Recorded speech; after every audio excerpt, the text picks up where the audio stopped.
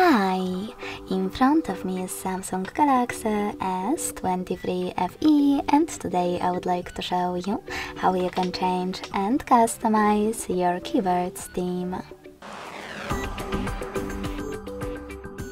Begin by opening settings and scrolling down to access general management.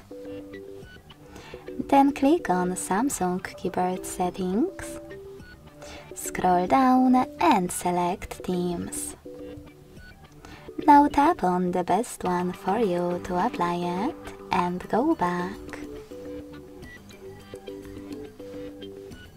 As you can see after that, theme of mine has changed. If you wish to customize it, you can do that by installing free app called Gboard, the Google Keyboard. When it's ready, open it. Now click on Enable in Settings.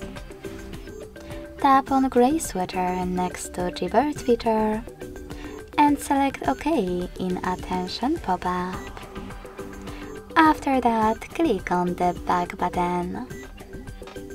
Then click on Select Input Method.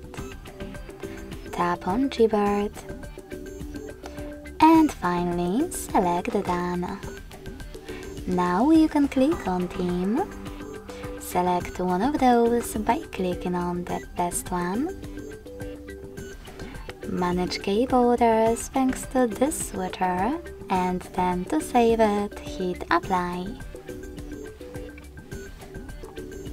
To customize it with an image, go back to the same settings and click on plus icon under My Themes. Then tap on the photo that you wish to apply as your keyboard's background. Pinch it to scale and drag it to move. Then select Next. Adjust brightness by swiping left or right. Click on Done manage keyboarders and select apply. So when I go back this time, as you can see, theme of my keyboard was successfully customized with an image. Thanks so much for watching. If you enjoyed this video, don't forget to leave a like, comment and subscribe. Bye!